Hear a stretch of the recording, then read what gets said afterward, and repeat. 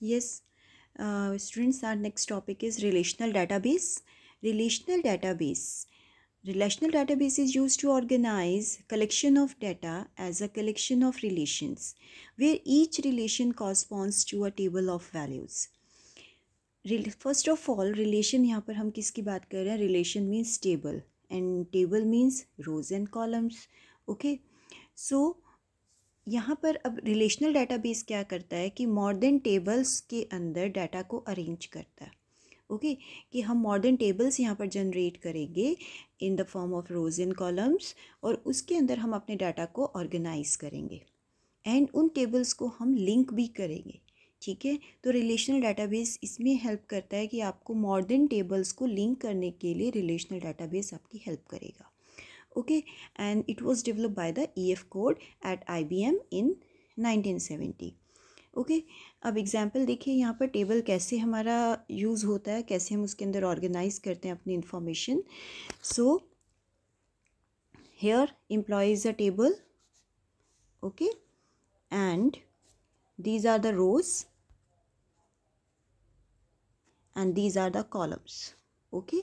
Horizontal जो होती हैं, वो होती हैं रोज एंड वर्टिकल्स होते हैं columns so there are three rows means there are three entries in this table table name is employee this is also called the relation okay means employee relation we can also say कि this is employee relation okay so so, यहाँ पर आपके three हो गए. Rows and columns आपके five हैं. यहाँ पर name employee ID gender salary and date of birth means हम यहाँ पर फाइव एंट्रीज कर रहे हैं. किसी पर्टिकुलर पर्सन की लाइक पारस बंसल की यहाँ पर उनका नेम है एम्प्लॉय आईडी है जेंडर है सैलरी है एंड डेट ऑफ़ बर्थ है. Like that okay now the next is relational model relational model represents how data is stored in relational database अब रिलेशनल मॉडल ही आपको रिप्रेजेंट करेगा कि आप रिलेशनल डाटाबेस में मीन्स आप मॉडर्न टेबल्स में अपना डाटा कैसे स्टोर करेंगे। Okay so there is some terminology related to relational model और relational database first is a row is called the tuple सबसे पहले जो हमारी इसके अंदर जितनी रोज़ होंगी, उसको हम क्या बोलेंगे? टप्पल ओके एंड कॉलम्स को बोलेंगे अट्रीब्यूट ये जो आपके पास कॉलम्स हैं नेम एम्प्लॉय आईडी जेंडर ये क्या हो गए? एट्रीब्यूट्स टेबल क्या हो गया?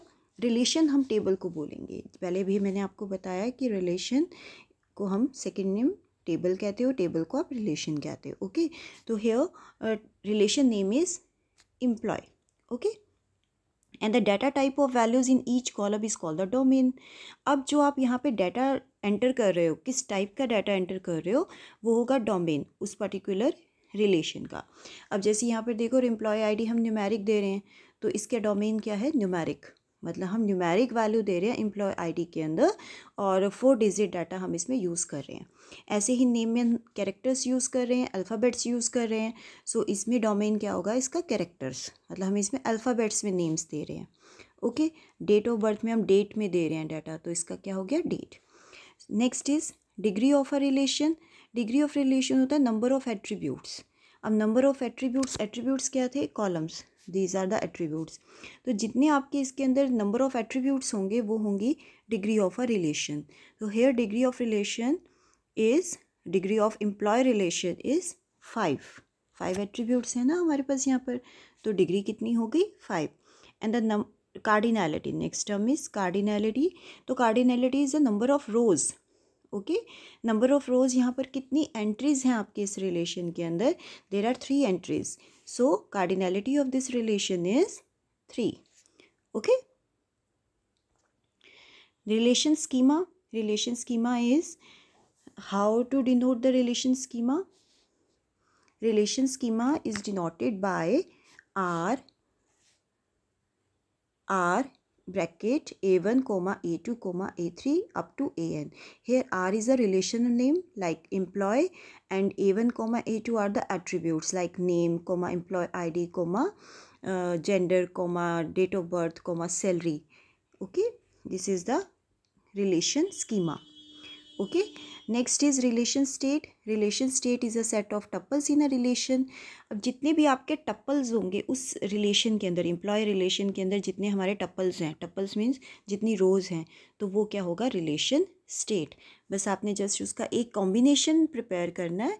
जितने भी टप्पल्स होंगे set of tuples is called the relation state okay and the next is relational database management system.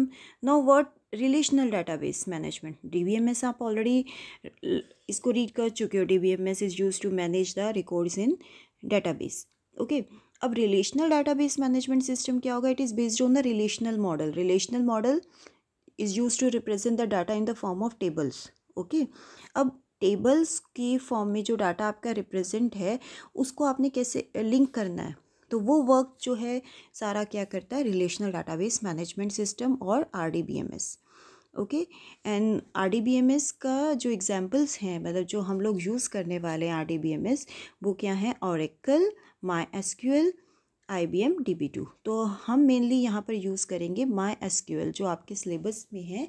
My S Q L server हम यूज़ करेंगे as a R D B M S okay